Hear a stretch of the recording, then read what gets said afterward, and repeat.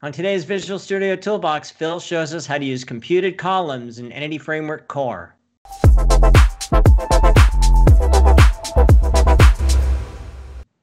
Hi, welcome to Visual Studio Toolbox. I'm your host, Robert Green, and joining me is Phil Japikse. What's up, Phil?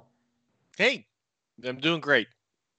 Getting We ready are- to talk about some new cool EF. Well, not new, but some cool EF core stuff. I know, we're continuing our series here. What's up today?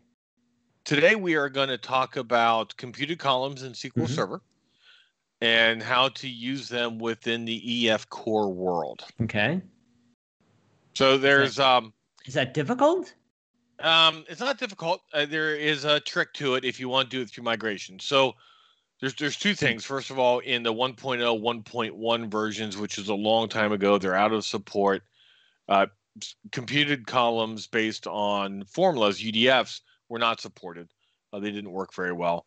Uh, they've worked fine since uh, 2.0, so they still work great. Um, the problem is that people will not always want to use them, or they think there's this this imaginary wall between EF Core and the database, right? So I'm either going to use EF Core or I'm doing everything in stored procedures and straight ADO. And, and what I, it, it's probably more of a training thing than the technical problem of just getting people to say, hey, use the right tool for the right job. Okay. Like, for example, let's say we have an e commerce site, we've got an orders table and an order details table. Right. If I want to get the order total to display in a SQL Server query, I can certainly do that by doing select star from orders, you know, and then do a sub select on order details where I'm doing a sum and putting it back. But that also makes it really hard to query. What if I want to get all orders that are greater than $50? Right. Right now, I've overcomplicated my query. Yep. Uh, the the one watch out I will say is that you have to be careful with using functions in SQL Server as computed columns. Uh, they can become a performance problem, right? So it's always the right tool for the right job, and is I'll always test, test, test to make sure it, it works. Okay. So let me share my screen and we'll jump into this. So what I want to do, the final result is I want to create a function, a scalar function. And it's going to be a really simple function. Uh, we'll just create two new query edit window.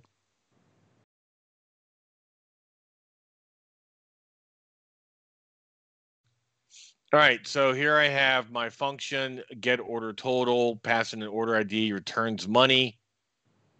And then it's going to select sum from order details where order ID equals order ID, return result.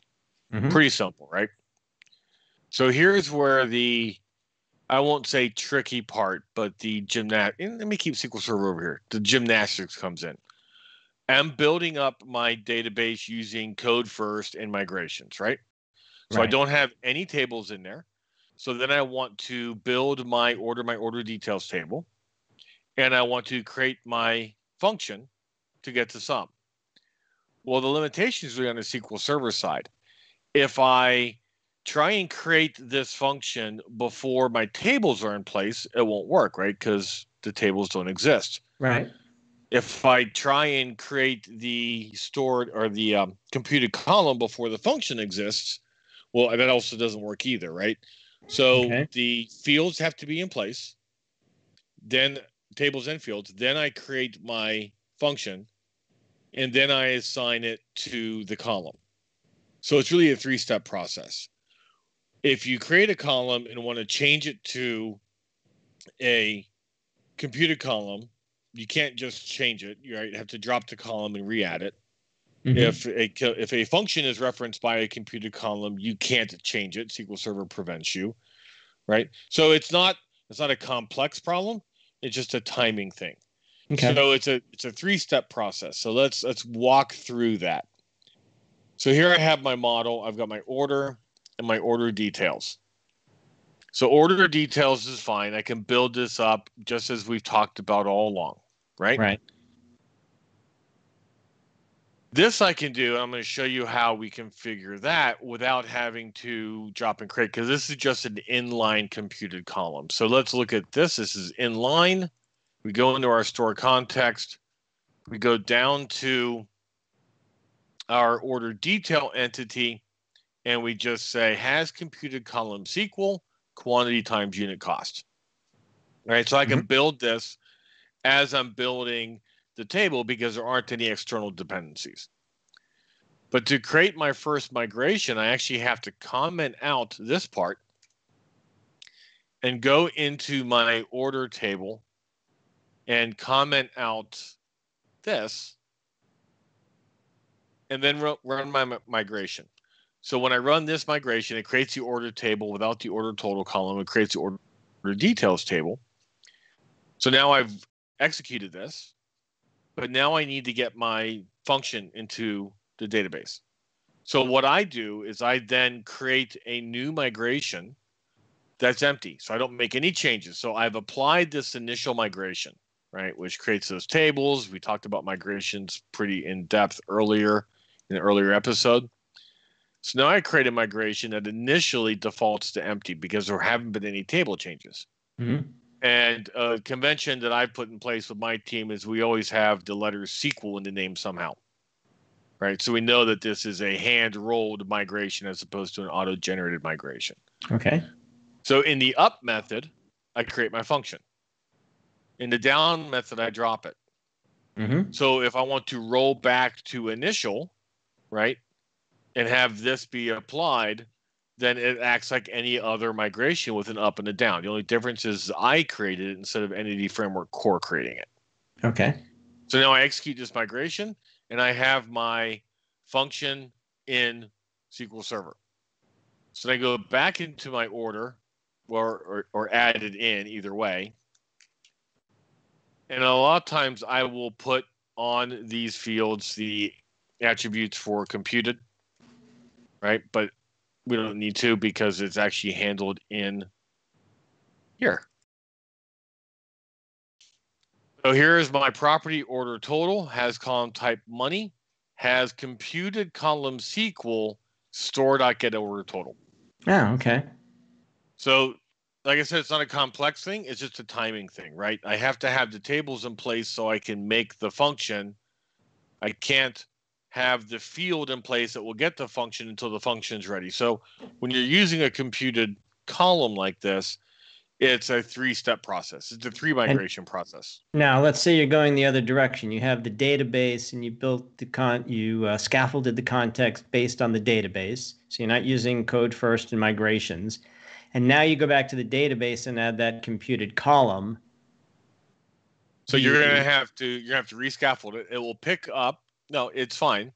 It'll pick up as computed, mm-hmm. right? Whatever the computed definition is. And if we look at the actual column definition, so we go here, columns. Well, I think we have to go into design mode. We do. Right. So order total. Mm-hmm. It's computed and there's a computed. Right. So it'll okay. pick that up. Right. So if I scaffold the database, if I'm doing database first, in Scaffold, it'll be there. I don't have to worry about creating a migration for the UDF because UDF's already in a database. Database.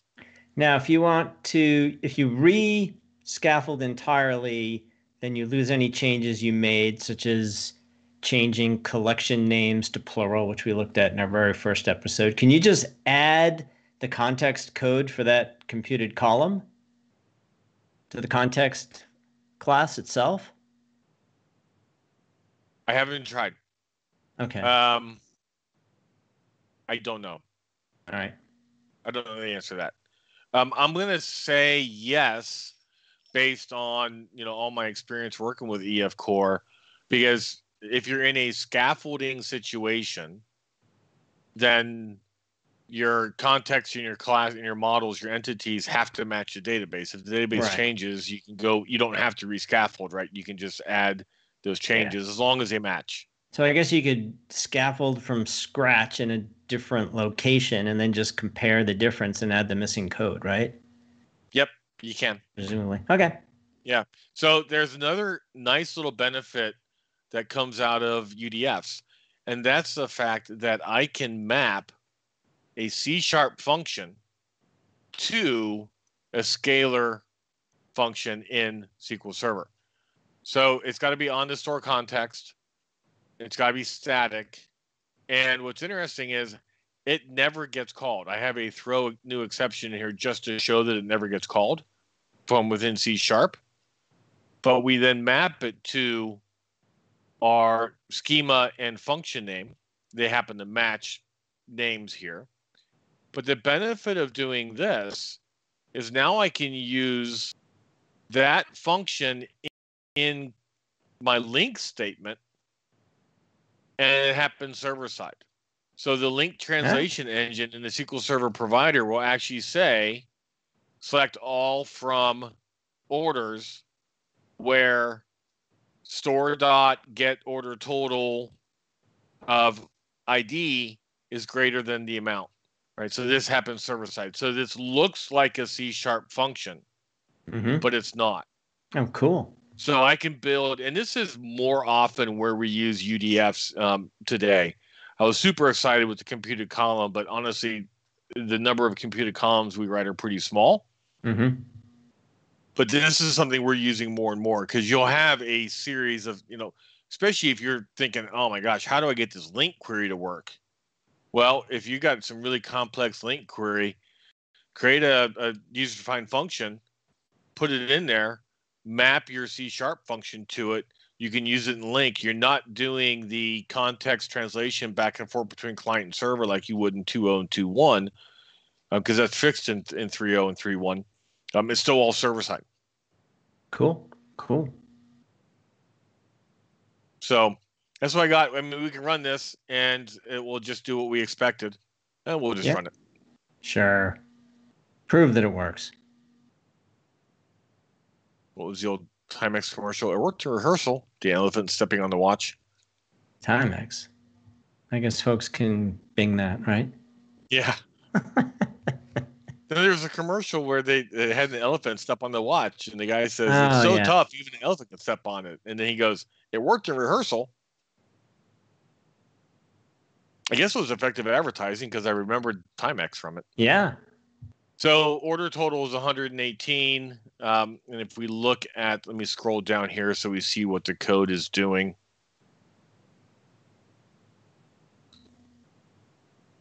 Do it like this.